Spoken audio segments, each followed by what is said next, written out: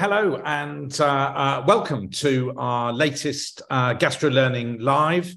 Uh, I am really delighted uh, to uh, be talking with my colleague, Dr. Emma Culver, um, consultant gastroenterologist and hepatologist from Oxford, about a topic that is very close to our hearts, IgG4 related disease. Now, Emma, we have been passionately discussing IgG4 disease for, oh my goodness, nearly 15 years. Um, uh, and uh, we've now got to cover the whole of the topic in exactly 30 minutes. So this is a, a hell of a big ask. Um, but um, uh, that's what we've uh, set, set ourselves the task of doing. Um, uh, just, you know, looking back, when we first spoke about um, IgG4 disease, we were really focused on the pancreas, weren't we? And we the the, the historical terminology, of course, was autoimmune uh, pancreatitis. Um, things have um, changed, and we now um, recognize that it's a much broader disease than that. Um, just as we get the uh, you know a graphic up of um, you know, IgG4 uh, disease. Just tell us what you would define the disease as. You know, what what what brings various clinical problems into the um, the envelope, if you like, of IgG4 disease. Yeah, George, I think you're right. You know, we used to think it was just in the pancreas and bile duct, and I think now we consider it very much to be a immune mediated fibroinflammatory multi-system disease. Um, and, and it's characterized very much by masses, really, um, or thickening or strictures or even nodules um, with a high serum IgG4 in the majority of patients, but this infiltration of lymphocytes, plasma cells, and fibrosis within the tissue with a predominant IgG4 infiltrate. So we know it's multi-system and it's fibroinflammatory.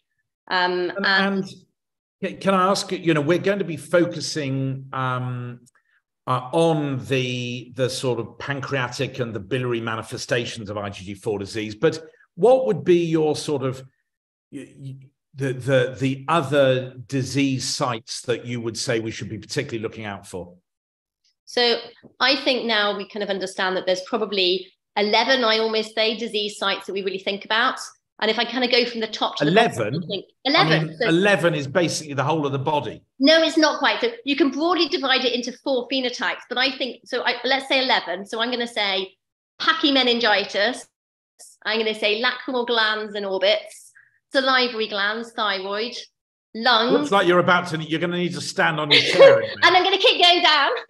but I'm going to go kidneys, pancreas, bile duct, retroperitoneum, aorta. And then I think broadly you can divide into four types. So you can say you've got the pancreatobiliary tree, you've got the retroperitoneal aorta, you've got the head and neck, and then lastly you've kind of got the systemic manifestations. Um, and, and you're right, pretty much every organ has been described to be involved in IgG4 disease. But I, but I think that these are the ones that we most frequently see in the clinic.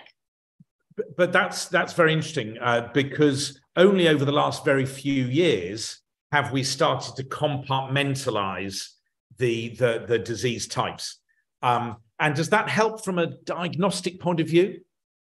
So I think we like to put things in boxes, don't we? Um, and I guess it's more because this this is referred to so many different specialists. You know, it's not just a disease for you know gastrohepatologists or pancreatologists. It's a disease for rheumatologists and hematologists and immunologists and orbital physicians and renal physicians. So I guess what it does help us to do is to be able to help to guide patients to say a lot of the times this disease may only stay within this kind of area, and that's what we're going to image and that's what we're going to look at. But there has been some nice data to say that the presentation determines actually what happens along the line, how you manage the patients, and potentially their prognosis. So I think okay. that does actually help when you're defining them. Very interesting. So, I mean, we're going to be coming on to uh, to, to, to management in a little while. Um, but let's let, let's just focus down a little bit on diagnosis. Mm-hmm. Um, uh, and again, particularly thinking about um, well, let's start with pancreatic disease. You know, when when we first reported this uh, disease in the UK, we you know we thought, well, okay, if you've got a sausage pancreas and you've got a raised serum IgG4, then there you go, you've got the diagnosis. Um, is that you know what is good enough now in terms of um, making a definitive diagnosis? Yeah, so I think what I would say firstly for the particularly for the pancreatic disease is that he really presents a bit like a malignancy rather than acute pancreatitis. So what you tend to find is that patients will present with obstructive jaundice, weight loss with steatorrhea, um, and exocrine and endocrine pancreatic insufficiency, and very rarely or minimally abdominal pain. So I think that's the first thing to say is the differential is always malignancy there. And then you're right, out of all of the manifestations of IgG4 disease, actually the pancreas has probably got the most characteristic imaging. So a lot of patients will have this kind of sausage shaped pancreas and they have a pseudocapsule, so a rim around the outside. And then we see in the pancreatic duct, there's actually a sort of wavy pancreatic duct a lot of the time. Um, and, and there's a lack of upstream dilatation, but multiple strictures. And that differentiates it from other forms of pancreatitis and also thinking about other cancers. But not every patient has this perfect sausage shape with pseudocapsule. Um, and we do find that patients will have a focal mass in probably around about 40% of cases. And that doesn't have to just be at the head, but that's the most frequent. You can also feel it in the tail and elsewhere. And that makes it more difficult to diagnose. But would you agree that the, you know, we are very cautious about um, making a diagnosis of IgG4 related pancreatitis with a focal mass, with upstream pancreatic duct dilatation. And those patients, particularly as the disease is often in, you know, middle-aged to elderly patients, you know, that is likely to be cancer until proven otherwise. Um, and and what about um, uh, you know that corny phrase, "tissue is the issue"? You know, do we? Um, where do you think that sits in terms of the diagnosis of pancreatic IgG4 disease, and then we'll we'll move on in a minute to to biliary disease. But do yeah, you think I... we should be pushing for pathology to make a diagnosis of uh, IgG4 disease? So I think I think in those patients who have the really characteristic features I mentioned, the sausage, the pseudocapsule, irregular pancreatic duct with no concerning features, and they have a high serum IgG4 and other factors that would fit, I think that is probably your safest and you know, the safest kind of presentation. But most patients don't present like that. And actually, those patients, you want to see some degree of multi organ involvement, so maybe kidney disease or salivary gland disease to really make the diagnosis. And I think we're moving more and more into thinking about whether or not we would EUS and do a fine needle biopsy rather than aspirate um, in order to be able to get histology. And you can see on the slide in front of you, actually, there are very characteristic histological features that you can find. And you find these more frequently on resection specimens than you find in small biopsies. But characteristically, that kind of lymphoplasmacytic infiltrate with those IgG4 cells, a very kind of storiform or swirling fibrosis, um, and the present, presence of obliterative phlebitis are the things you're looking for in the biopsy to help lend to diagnosis and obviously exclude malignancy. Okay, brilliant. And and we're going to move in a minute on to disease mimics, which you know uh, are, are, a particular consideration in in this disease but but what about um, making a diagnosis of IgG4 related cholangitis mm-hmm. because getting pathology in these patients can be there's often not a lump you know there's diffuse biliary stricturing um, so we've got an um, example here of of classification of um, IgG4 related cholangitis. And as we recognize, the, the, the crucial differential diagnosis in these patients is uh, primary sclerosing cholangitis and cholangiocarcinoma. Um, do you have any tips or, or, or views on how we should really be trying to push, you know, nail down this diagnosis? So, I think I think they're really difficult questions. You're right, and uh, I think for patients with IgG4 related cholangitis, one of the things we find most frequently is the presence of pancreatic disease. So, you know, 80% of patients will have pancreatic disease. So, you're wanting to look to see if you've got a pancreatic head mass or diffuse abnormality of the pancreas particularly in that type 1 that's described, which is described in about 60 to 70% of patients, where you get a common bile duct stricture. And it's not just due to compression of the head of the pancreas, but also you get thickening of the actual wall of the bile duct as well. So I think for pancreatic disease is important. Um, and then you've got the kind of type 2, which you nicely described again, it's a bit more PSC like. So you've got these intrahepatic duct abnormalities. And there you want to try and distinguish between PSC and you're thinking very much of the kind of beading or irregularity that you often see in PSC that you wouldn't necessarily see in IgG4 sclerosing cholangitis, although it's quite difficult to depict the two. Um, you're also looking for evidence of other things that might support PSC. So the presence of ulcerative colitis, for example, that we know occurs in sort of 80% or at least some form of IBD. Um, and also you're thinking about obviously the serology, the serum IgG4 levels, which can be elevated in both, but are more frequently elevated to a much higher degree in patients who have IgG4 related disease. And then you've got the other two types that were there, the type 3 and type 4, which are kind of isolated strictures. Type 4 probably being the hardest because of actually the hilar stricture is probably the most difficult to get to, to get any kind of sample from and distinguish yeah. from cancer.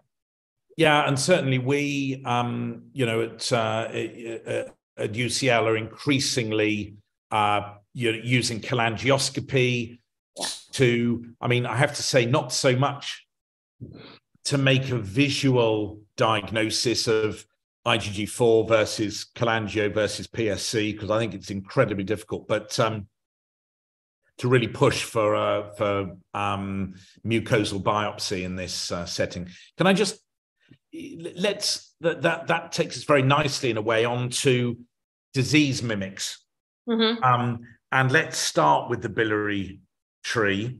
Um, you mentioned, um, as we all know, about 80% of patients with PSC, primary sclerosing cholangitis, will have uh, histological evidence of colitis.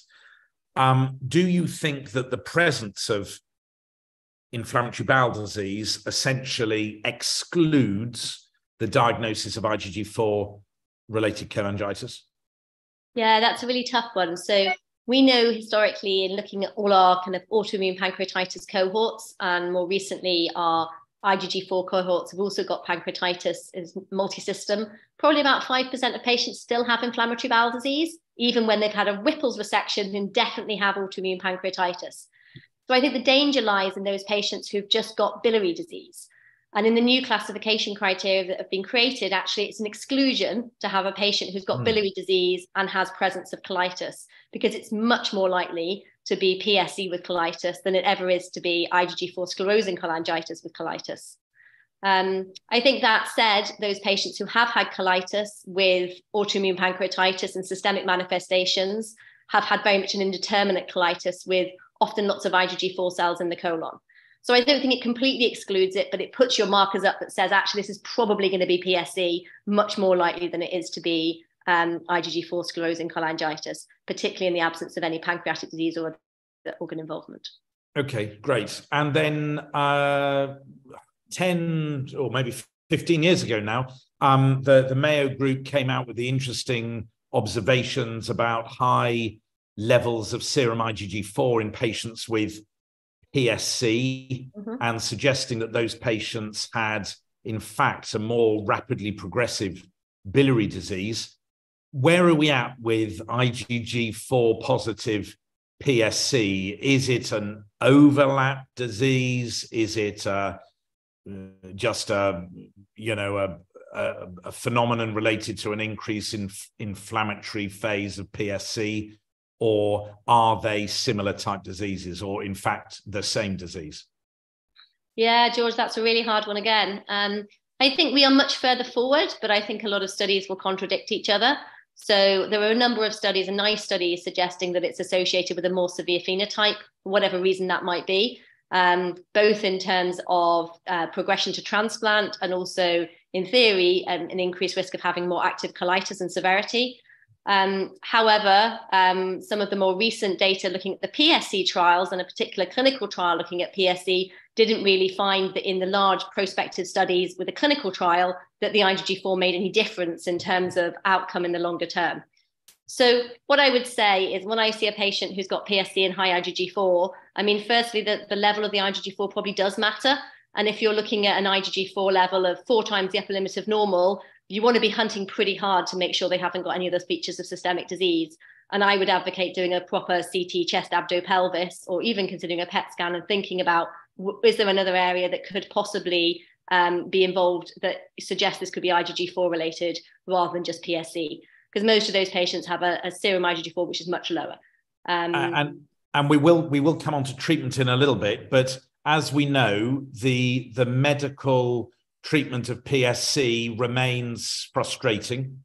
Mm-hmm. Um, in your practice, you know, if you have a patient with a raised serum IgG4, uh, with a diagnosis of PSC and a, an IgG4 of four times the upper limit of normal, let's say, um, where does your discussion go with regards to a trial of um, steroids, for example?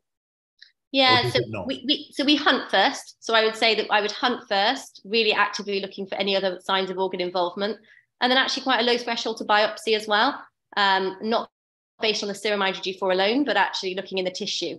And I think if you've got a kind of inflammatory overlap in the tissue, in addition to the fact that you've got an elevated serum IgG4 with or without other organ involvement, I think there is a reason there for thinking about giving a steroid trial. Um, and we have given steroid trials in that kind of context, but in a very kind of safe environment. So, in other words, in patients who are not cirrhotic um, with advanced risk of infection, and also after imaging them at the beginning and also imaging around four to six weeks later to see if there's been any change in their strictures and stopping the steroids if there hasn't been. Um, because I think, again, giving um, immunosuppressions for a long period of time, particularly in PSC patients, is never shown as a good way of treating them. And more importantly, it opens them up to increased infections unless they have inflammatory bowel disease and they need it for that. Okay, great, excellent. Um, you mentioned imaging, um, PET scans. Yeah. Um, do you know in, in our in our you know joint super regional uh, MDT, of which we've got a course again tomorrow morning. Um, uh, where I think it's fair to say we're increasingly using PET scan PET scanning. Where do you think it sits in terms of uh, the initial diagnosis? I think it's probably overkill for the initial diagnosis. I think you can get away with doing uh, a CT chest abdo pelvis with contrast and then examining the neck um, in, at, the, at the start of you know the diagnostic um, pathway and then obviously, if you have biliary disease, you probably want an MRCP of the bile ducts. And actually, sometimes for glandular disease, you might want an ultrasound or an MRI of the neck.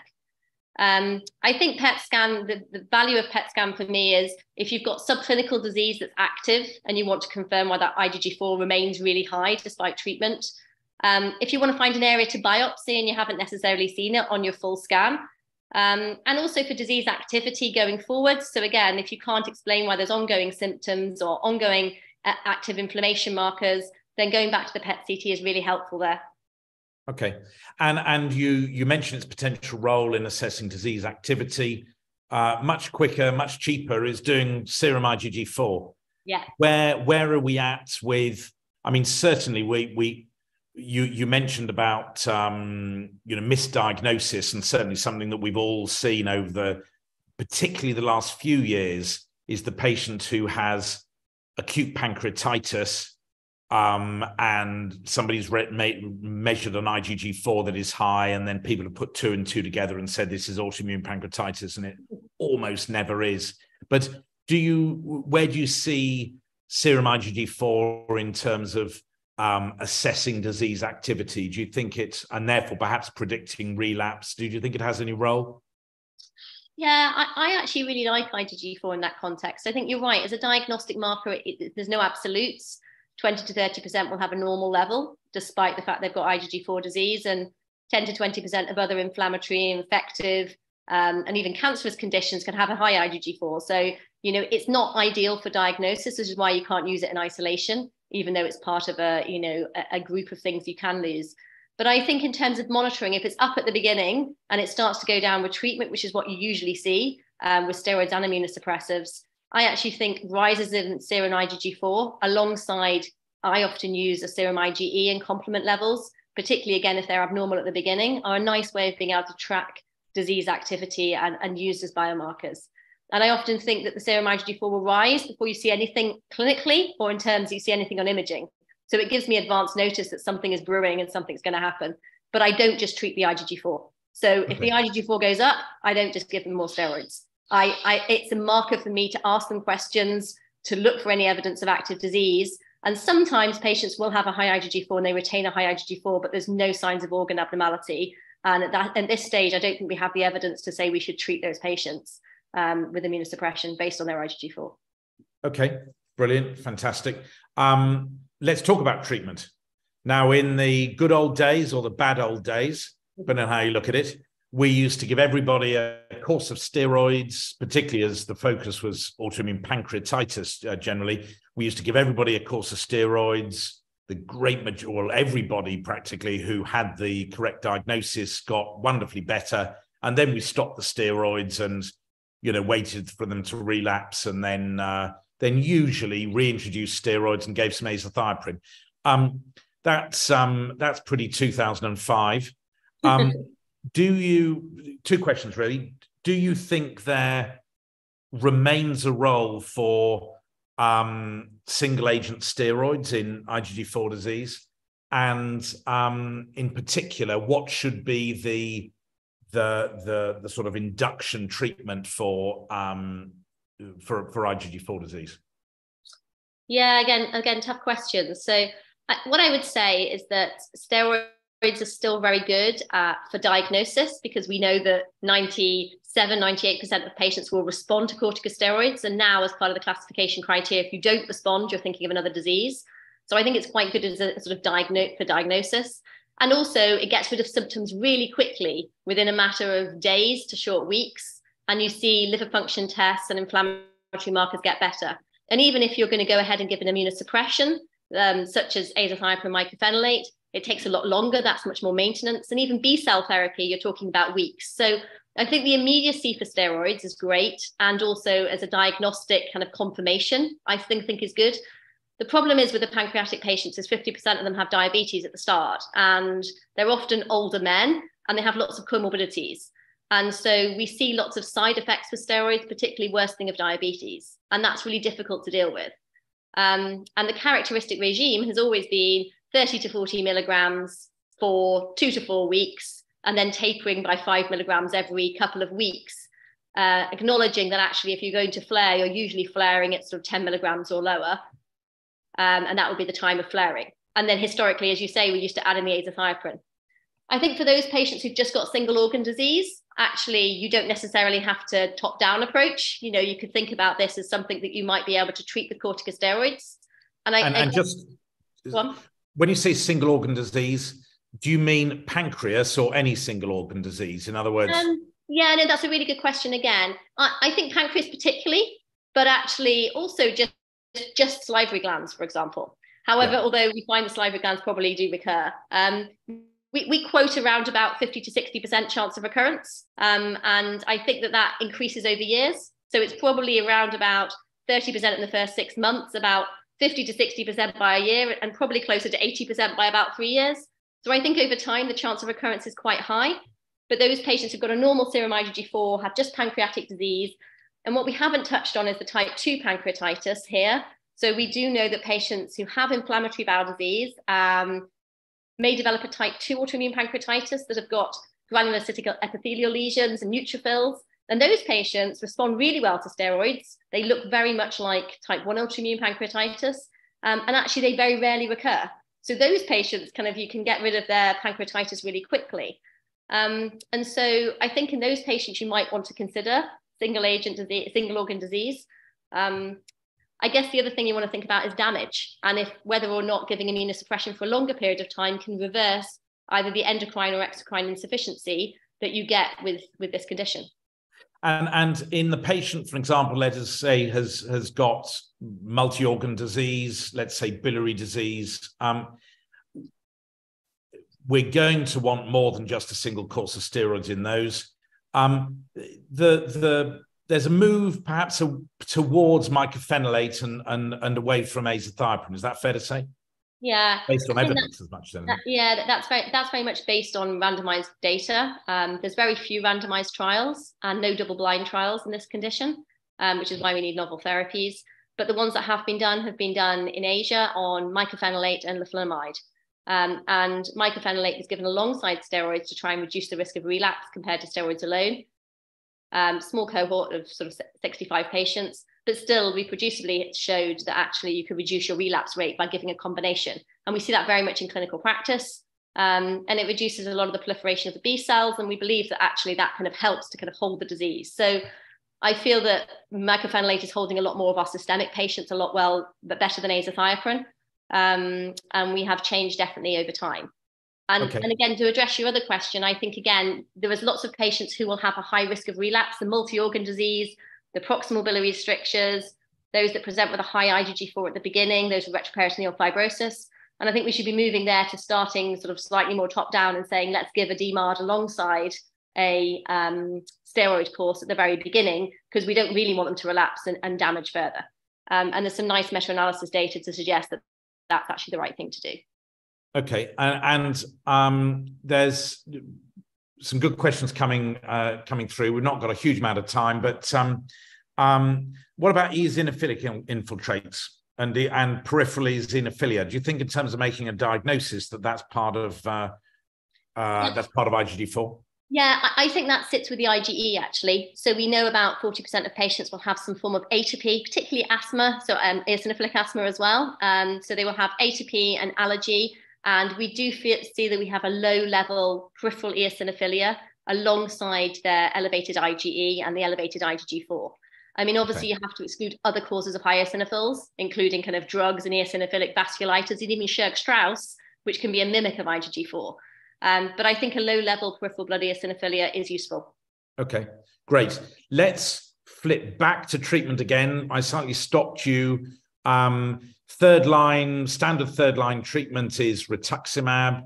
Um, just say a little bit more. I mean, rheumatologists might look at us giving, you know, steroids and uh, uh, and mycophenolate and and you know think that we're you know 20 years behind the game. Yeah. Um, do you do you talks about the the use in the UK of rituximab and and and the um, and then we'll we'll have a few words about um, uh, you know exciting future treatments for IgG4. Yeah, so so I think um, in terms of access in the UK, we can only get rituximab third line, which means patients have had to have steroids and another DMARD and either failed them or been intolerant before we can have access to rituximab. But there's well over 60 patients now through the MDT who've received rituximab and done very well on it. Um, I guess you're completely right. Within Europe and elsewhere, where you have easier access to rituximab, actually you would consider using it a lot earlier on. Um, I think it's difficult to advocate it as first line therapy um, unless you have high features of relapse at the start. And again, that will be multi organ disease, when I say a high IgG4, I mean a serum IgG4 greater than four times the upper limit of normal, although a lot of studies use greater than two times the upper limit of normal as their cutoff. Um, and we also have seen patients with high IgE and eosinophilia actually as markers of bad response over time to rituximab and having to think about escalating therapy further. So I think they're all markers that you need to look at from the start. Okay, brilliant. And um, let's, in the final, or oh, literally last couple of minutes, let's just think about the future in terms of uh, uh, treatment. Um, clearly, rituximab was the initial, uh, the main sort of B cell depleting agent that that seems to show promise. Where, where do you see the the, the direction of travel um, over the next ten years in terms of uh, therapies um, for IgG4 disease? I, th- I, think as we we know more about pathogenesis, we've realised that actually we've moved from a kind of blunderbuss approach to much more targeting of specific cell sets, particularly B cells and the C, the T cells that interact with them. So current clinical trials that are that are open or opening include that of inebilizumab, which is an anti-CD19 uh, agent, which is currently open as the Mitigate trial, um, open in 80 different centres across the world. Um, and that's a randomized control trial of, of active and relapsing IgG4 patients. And then um, due to open soon here and also in other centers is one of obexelimab, again, which targets a slightly different agent. It's looking at plasma cells, B cells, and F2 gamma B receptors. It's had good phase two data. Um, uh, slightly differently, um, inebilizumab is given intravenously. Um, obexelimab is given as a subcut infusion. And then there are other trials that are opening looking at um, looking at, I suppose, different ways of targeting both the B and T cells, which includes BTK inhibitors that are given orally, which are in phase two, A abatacept that's recently been published, again, phase two data, targeting the CTLA4 um, and the Fc gamma receptors, and then actually targeting these cytotoxic T cells that are thought to be really involved in crucial in pathogenesis, which is elotuzumab, which is a SLAMF7 target. So all of these different molecules are thought to be potentially involved in the pathogenesis of the disease. And so by taking out different molecules or taking out uh, different cells, we're hoping to actually sort of change the thing that's actually driving, maybe not initiating, but driving the ongoing inflammation and also the fibrosis. And I think, you know, we have to watch this space because eventually we may indeed get top down therapies. And once we can choose which patients to give them to, those high relapsing patients, we can start to target in a way we do actually for IBD and other rheumatological conditions, um, who we actually give these, these therapies for. Fantastic. Wow. Um, and I mean, it's, it, you know, as we said at the beginning, uh, 15 years ago, this was not a disease that was recognized in, uh, um, you know, in the, the, the, the UK. And, you know, and, you know, at that time, it was a case of just recognizing the patients. And mm-hmm. I think it's, a, it's, actually a very considerable change that now in 2023, we're really looking to target the you know the the immunopathogenesis of uh, of the disease. So uh, and you, of course, Emma, have been you know absolutely and remain absolutely central in in all of those areas. So we've come to the end. Um, it's been a, a, you know, great fun, huge pleasure, um, and I hope very useful for um, you know our attendees to find out in thirty minutes uh, a huge amount that we need to know about IgG4 related disease. So uh, can I just say, George, two, two, take home messages for me. I just yep. want to say one, you know, really work hard to get that diagnosis right before you get yep. lots of corticosteroids. And two, you know, steroid stewardship in this kind of day and age, we need to be careful who we're just giving steroids to and not kind of monitoring them in the long term. So for me, they're the two big things I think that we've got to do going forward. Great, great take home messages. Um, good. You. We've come. Oh, we've we've we've hit the bell. I'm afraid. So um, thanks, Emma, ever so much. And um, I will see you bright and early tomorrow morning for the IgG4 MDM.